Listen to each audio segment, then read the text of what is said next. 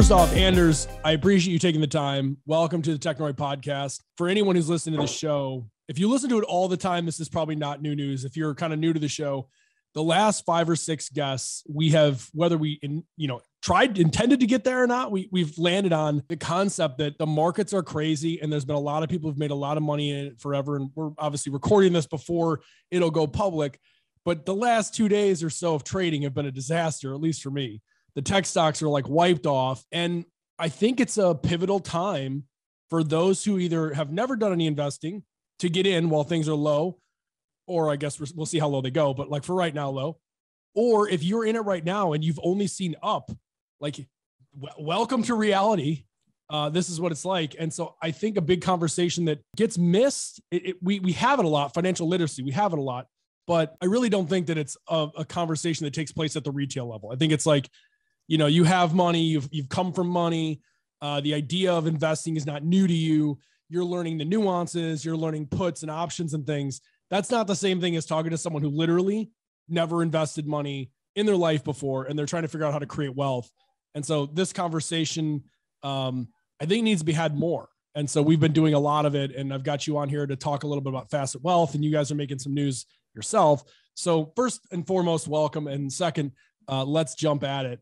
Let's start talking about money and, and facet wealth. So the way that I talk about facet is that we exist for the huge number of American households, like tens of millions of American households that have questions about money.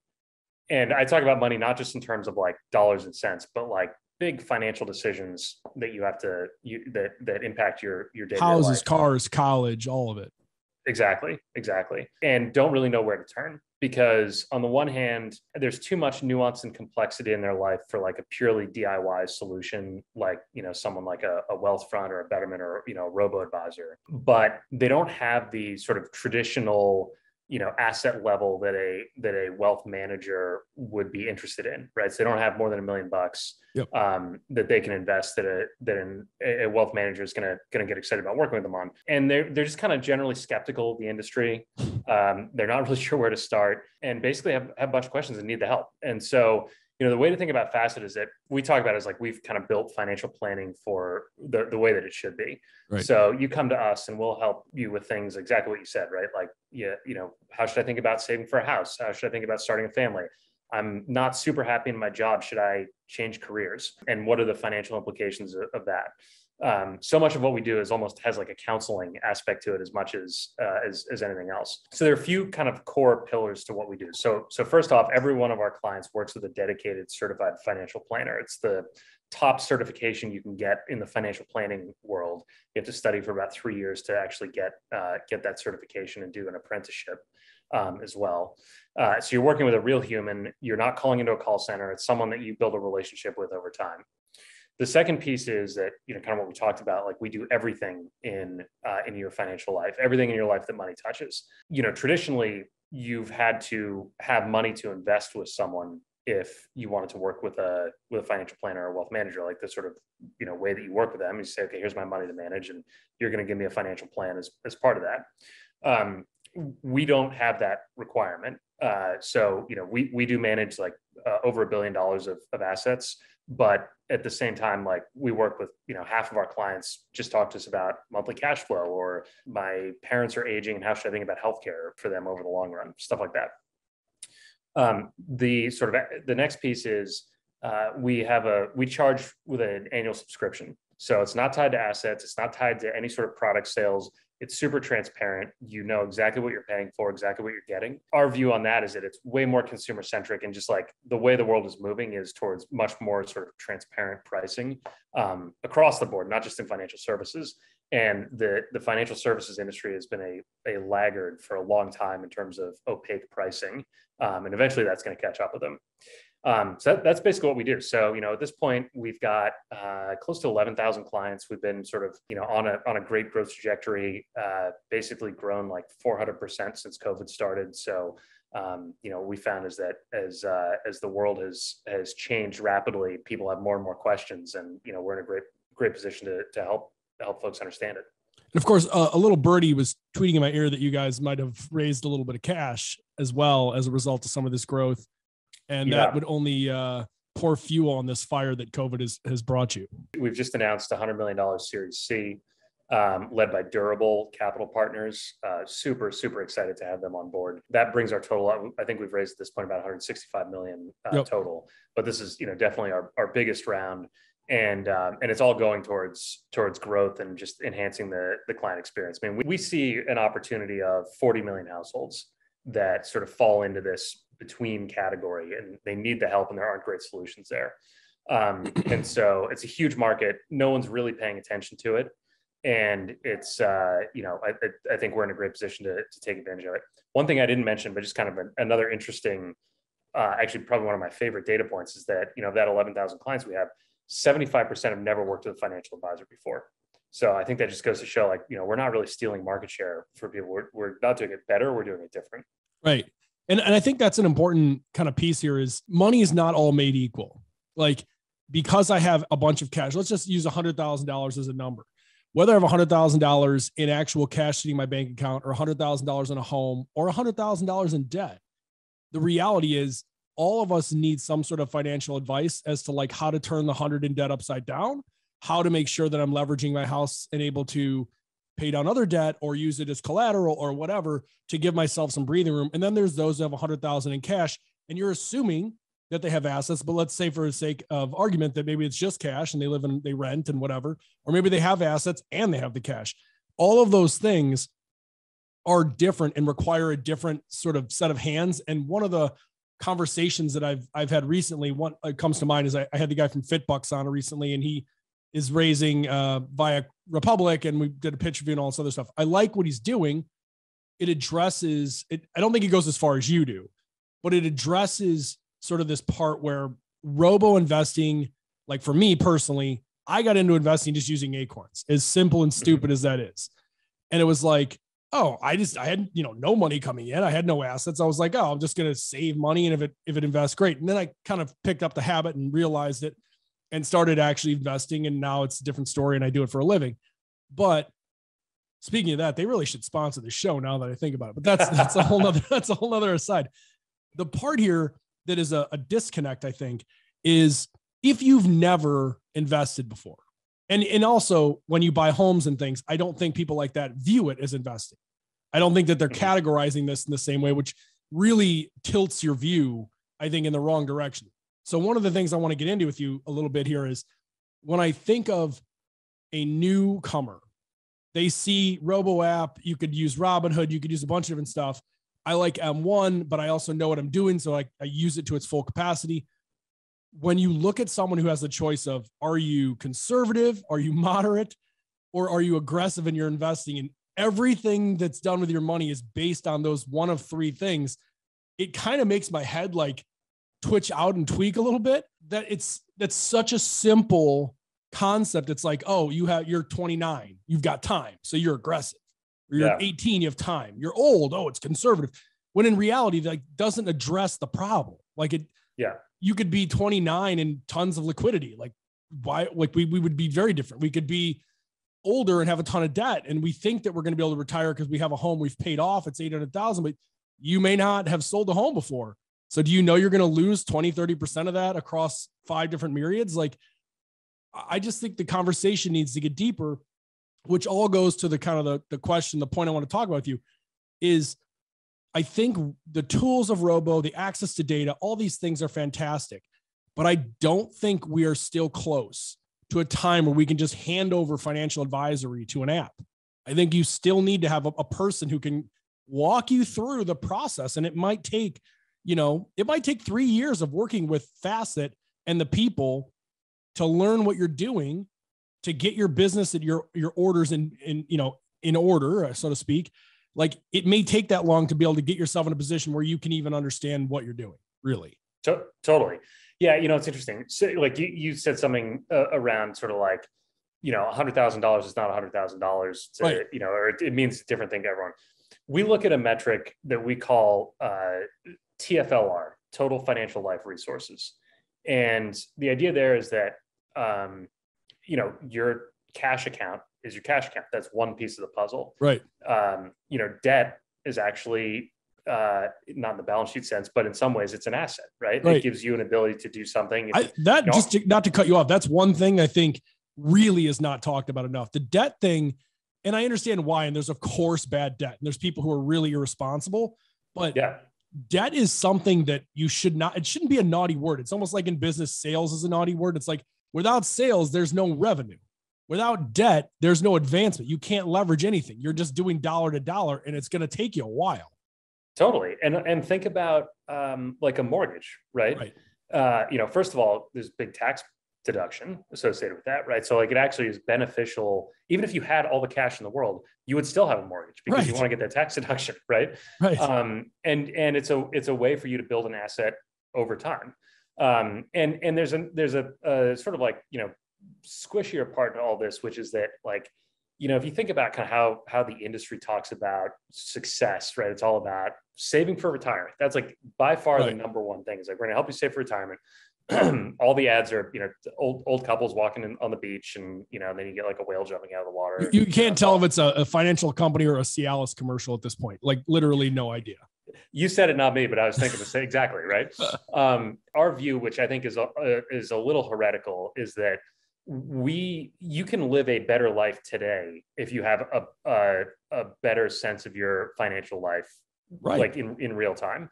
And Right. there's there's like so much more. There, there- there's increasing science around this around. Um, financial wellness is actually very closely linked to physical wellness. Yep. And if you are not in a good spot financially, your physical health will deteriorate. Um, so we focus on on that as much as anything else. And you know what? Like having some debt today is not the worst thing in the world, right? I mean, obviously, depending on your situation, Sure. right? There are a lot of things that I think sort of have this like societal like negative connotation that actually we should be talking about and saying, look, for your specific situation, um, you know, the path that is right for you is going to be different than anyone. You know, you are unique. Your financial life is unique, and uh, you know, we, we should kind of be open to any and all options, and that's how we approach it. And, and to your original point, I think we are a long way away from technology being able to do that as a pure play standalone thing. Oh, in- in particular, if you're trying to treat the people who are coming new to investing, like I, I just think there's way too many variables to have an algorithm try to tell me anything. And I Yeah. think the point that you were trying to get to, which is a, a really important part of this conversation, is on the debt side, taking the approach of I'm trying to save for retirement, save for retirement, save for retirement means, in short, that you are making concessions, a lot of concessions along the way, so that your quality of life may actually be so like we don't know how long we're going to live. Like we we're recording this the day after Bob Saget died at 65, and I feel like I'm going to cry because that's a, you know Full House is a show I watched growing up, and it's like Yeah. you don't know how long you have to sacrifice your whole life because you you think I have to take X percentage of my income and put it in a savings account or put it in some other random you know bond or something that's just not going to pay out so that when I'm 65 I have money. What if you don't get there? Like there's a Yeah. balance, and I think that's where this debt piece really comes in. Like I, I'd love to hear your thoughts on this, and I think I, I assume I'm making an assumption that you're going to say what I think you're going to say, particularly around the facet conversation, is that you can actually use debt as a tool, again, with responsibility.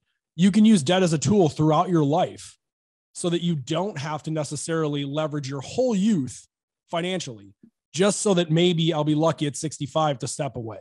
Like you can use mortgages, you can you can borrow against collateral or collateral against your your assets. You can, you know, M1 as an example lets me borrow 35% of my trading accounts at a 2% interest rate. Like I don't, Mm-hmm. as long as you manage your income properly, you're not over your skis.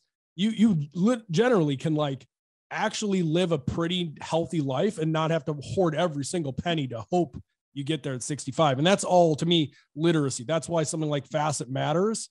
Is that just having a conversation with one of your people could clarify something to me that I it could be seven to 15 percent of my annual money that I'm misappropriating. Totally. Yeah, and and I- I, don't want to um, give like a blanket endorsement to debt again, because first of all, I'm not. No, of course. I, this so- is being responsible.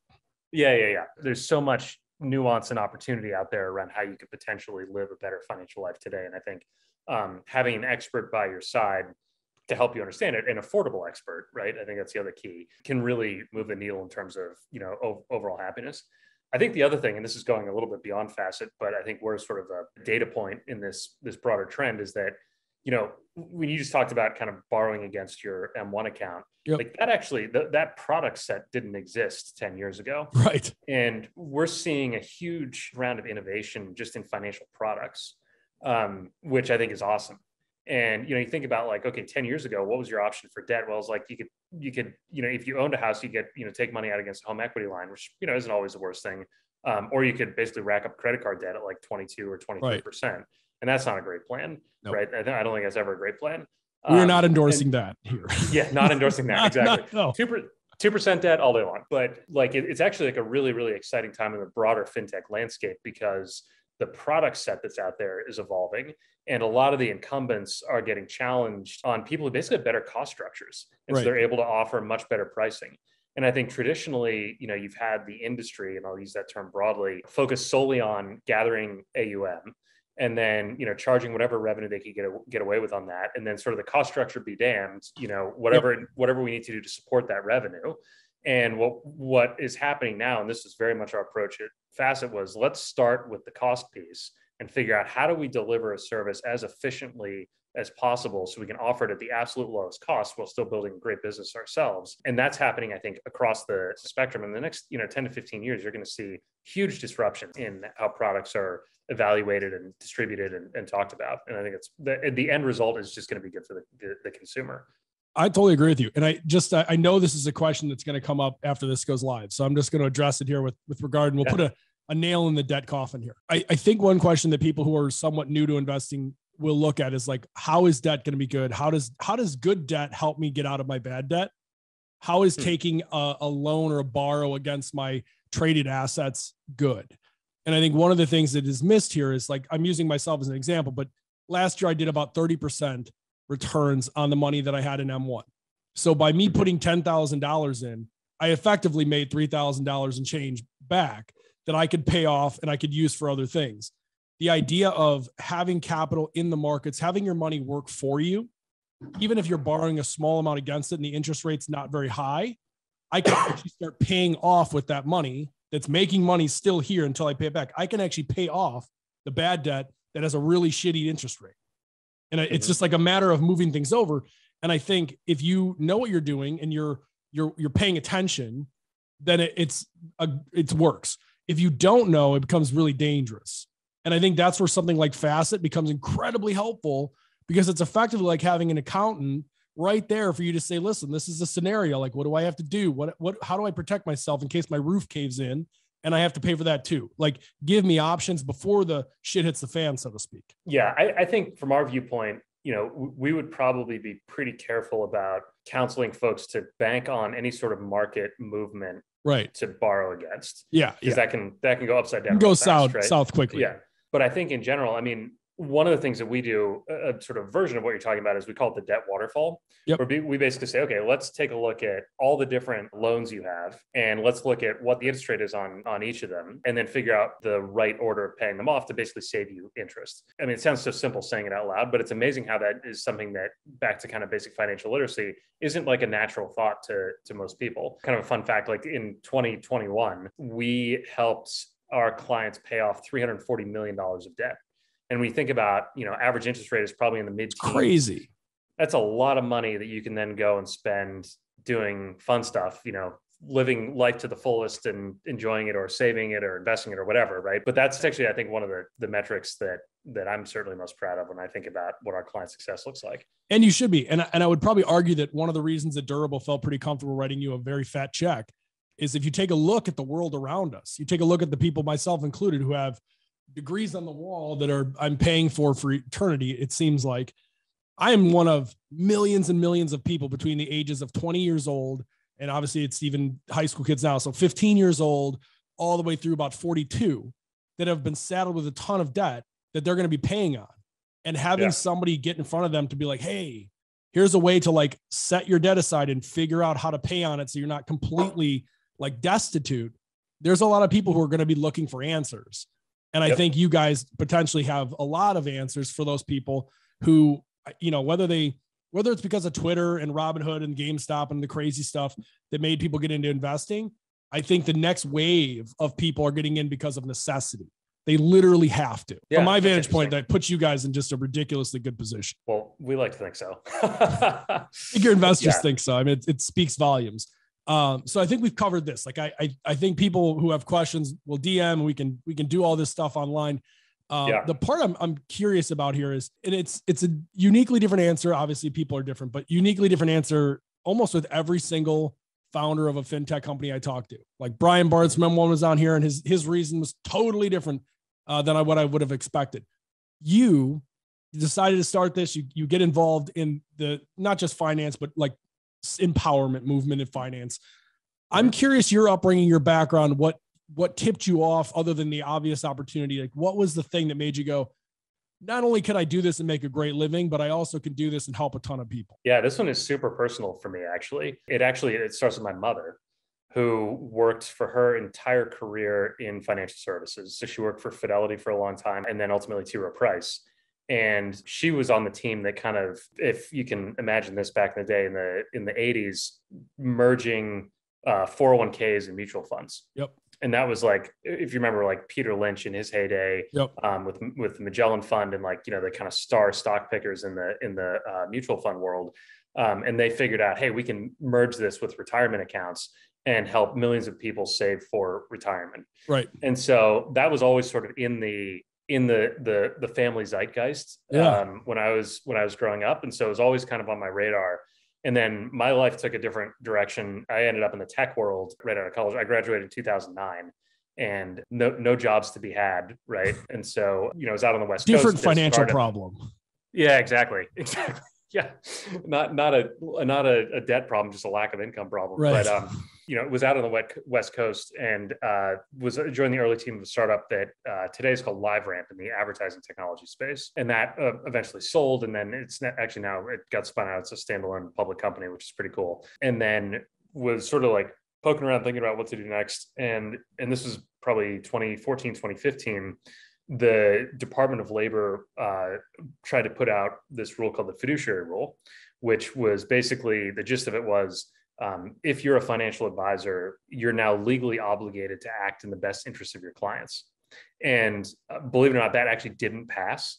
And so, and, and the industry pushback was uh, if if you pass this, you're going to have eight million advisor, or excuse me, eight million households that lose their advisor because the advisor can't afford to both service them and act in their best interest at the same time.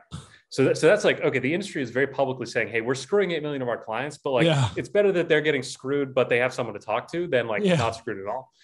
So, so that was the whole genesis Oh of like, God. okay, wait a second. There's like, there's a huge opportunity here, and like, and literally, like, the industry is saying, like, we really don't want to work with these people, um, you know, unless we can charge them an unbelievable amount of money that doesn't make sense for them. And you know, I, I, uh, a couple other co-founders also, we we call it the tale of three mothers, right? So my one co-founder is a financial planner, was working at a high net worth financial advisory firm, and basically he, he couldn't help his mother because she didn't meet the minimums. And then my other, my third co-founder, his mom was a, a, a mailman and like a bag carrier for the, the postal service. She retired, walked down to Edward Jones and put, uh, you know, said I have, you know, three hundred thousand dollars of savings, and they tried to sell her an annuity with a seven percent commission. And basically, and he he fortunately caught it. in I was going to say, I hope he raised a hand on that one. Yeah. So it's very personal for all of us. And what's interesting is that, you know, the company's now 300 people. And I, I would say every single person who's here has some connection to either either an aspiration of how the industry could do better, how financial planning could be better, or some wrong to right in terms of how, you know, they or a loved one has not gotten the best unconflicted advice. I'm curious. So, like, I always look at real estate and finance as uh, operating what one generation behind reality when it comes to like Mhm. regulation and pushing things through. And it's it's not a knock on it. It's it's a very it's like legal as well. Like very complicated, very high level of cash implication, a lot of governing in- implication. It- it's just challenging. So there's a reason that it's behind. So I feel like what your mom worked on is uh you could call it web one, but it's pre-web, so it's kind of like not Yeah. really what you are identifying in 2014 15 16 is web 2 now on the, the the twitter sphere everyone's talking about web 3 which we'll just roll it into crypto i'm curious how you view the things that are coming down like i think there's cool parts of the democratized dream of crypto, fine, cool, the volatility, people like it, great. The reality is, and right now we're talking Bitcoin's at like 41,000 or something. I hope I haven't looked since we started. And you never know anymore. 30 minutes in, it yeah. could be down to 20. But I, I do think that there's going to be a lot of people, whether Bitcoin's a thing or not, that are going to be left holding some sort of bag of not good things. Mm-hmm. How do you guys, how do you, I guess, two frame, how do you personally, and if you want to bring Facet in, it's up to you, totally up to you. But how yeah. do you view starting to talk to people who may be the first generation of people who were introduced to investing through a non fiat product? One of my favorite questions to ask people and, and i will i will preface by saying i know very little about crypto. I it it, the, it, it kind of makes my head explode just trying to wrap my head around everything that's going on there. Yes. And it's also it's changing so quickly right, right. um but but you know in my job i interact with a lot of people who are very pro crypto and and a lot of people who are are you know real experts in it. And one of my favorite questions to ask is okay, map this back to the beginning of the internet. What year are we in? Yeah. And consistently in the last year or so, I've heard we're somewhere between 95 and 97. Yep. So so there's still we're still figuring it all out. And you know, you remember 99, 2000, Amazon was a ridiculous idea that was never going to make money. Yep. And then, you know, okay, then we went down to the J curve, and now here we are with Amazon as the you know second or third most valuable company company in the world. And so, if I'm sort of pattern matching, I think about it in terms of like, all right, is Bitcoin like really the be all end all? I don't know, could be, but probably you know if you remember like Alta Vista, the search engine, right, right? that used to be like the search engine, Ask and Jeeves. now it's Google. Let's go. Yeah, exactly.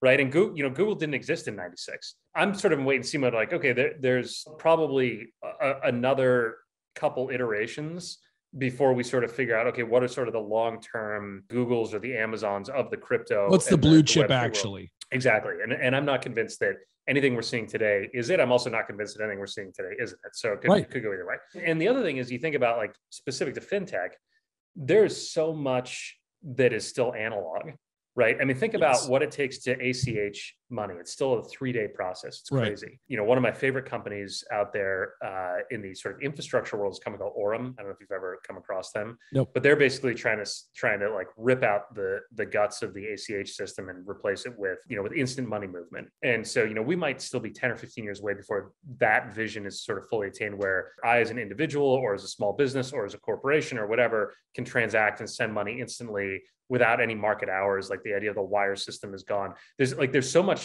just like catch up the analog stuff that we just have to blow out that i think that there's so much room to run in sort of the, the web 2 version to use your analogy that there's still tremendous value there to be unlocked. I agree with you. I think you know when i think of what you guys are providing it reminds me a little bit of like bumper rails. Like we're going to be in a in a situation that you know doesn't really matter honestly if you get into crypto it doesn't matter if you're an expert or not because we unless you see the future we just don't know. Like there's certain parts of this that like I think every expert in crypto would tell you is not sustainable long term. It, it is requiring that Ethereum has a solve, you know, two to three years down the road from now for a problem we're seeing now for it to be successful. So mm-hmm. having a person who's your financial advisor who's not telling you you should invest in this, you shouldn't, is just painting a picture. Like, yeah, what is your risk profile?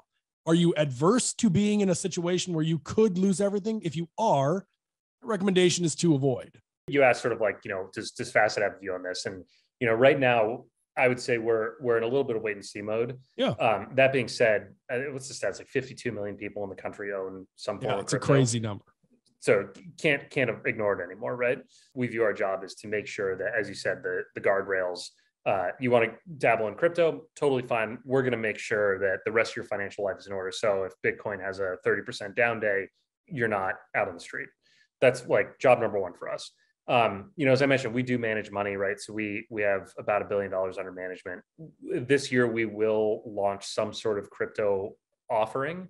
Um, our our philosophy of of sort of investment management is very plain vanilla, like low cost, passive, uh, globally diversified index funds, right? The focus is more on market participation as cheap as you can get it. But you know, we're at a point where it's going to be hard to not have at least some version of a crypto offering for those who want to get in there. There's a there there for sure. I think how it evolves, anyone's guess. First off, thank you for taking the time to come on the show. It's been awesome to learn about Facet. It's been really cool to hear your story. I just as a person who's an onlooker, probably will become a customer at some point. I look at this and what I really like for those listening to the show, why these conversations are important. What I really like about what you're doing is a lot of the financial institutions of the past, and even some that are currently operating today, and I don't mean some like Chase and Bank of America, they're huge. I mean, like even some of the apps that you think are super progressive still operate in sort of a restrictive, sort of uh, no until you show me. No, it's always no until yes. And I think that we are moving in a, a society is moving so fast that you I don't think you can be successful and have that attitude. What I see you guys having is a we're not saying no, we're just saying like open my eyes. Like we're going to say it may be this and it may not be this, but like we're going to learn. So all the people who work at Facet who ultimately will help me and everyone who's listening uh, with their money, it's not that they're advising me to do this or to do that. Their job is to know the road that I don't know and to maybe be the reason I did or I didn't make an investment, less of like, do that. It's not only that, it's also just asking questions. Right. I mean, I have a facet advisor that I work with, right? And that's uh, amazing, by the way. that's actually awesome. It's like I eat I mean, my own dog food. It's the best sales totally, pitch of all time. Totally. Yeah. And he's, and he is saved me from some mistakes, but I think more importantly, he has made me feel so much more secure and, and, and actually pushed me to do things that I probably would have been too conservative to do myself. And you're yep. talking to a guy who's like started a company, right? Like I'm right. not a conservative person by, it would appear, by yeah. any stretch, right? um, but he's basically this whole idea of like live a better life today. He's he's really helping with that. But so many of our conversations are centered around him sort of saying, okay, like as I've gotten to know you over time, here's how I think about like what makes you happy and like what, you know, two years from now you wake up and here's your situation like would you be happy if that was the case? And then he says oh you know based on that i've sort of designed this plan of action and here's what you're going to do to get there. And you know he has some obvious recommendations some non-obvious recommendations but was really one of them a multi-billion dollar exit? Was that one of the recommendations? We, we don't we don't bank on that. Yeah yeah yeah exactly. And, and and i'm not borrowing against that no i know. I'm just you know? um, certainly if if we achieve our vision then i think you know we'll be a, a, a significant uh, force to be reckoned with in the markets for for a long time. But that being said, you know, I think for me, it's just taking some time to be introspective and like asking the questions of myself about what's important. Right. It's amazing what that uncovers, and then the, the sort of path to how to get there oftentimes just kind of reveals itself. But having someone who's holding you accountable and and you know asking you over time to kind of do that exploration is, is awesome. Well, I love what you're building. Um, congratulations on the round and the success. I Thank think you. everyone should check out uh, facetwealth.com and learn a little bit about what you guys are doing. Uh, I, I think anyone who does not currently have, a, even if you do have a financial advisor, like I think you need to start exploring what's out there because there's so many new companies popping up that kind of handle to your point different facets to make the pun real to enable you to live a better life today which if you don't have facet t-shirts that say that yet that's your next next next next job Absolutely, yeah. We have, we have a few things, few few things, a uh, few swag things in the work for this year. So love it, Anders. Thanks so much for taking the time. Awesome, Scott. Thank you so much for having me.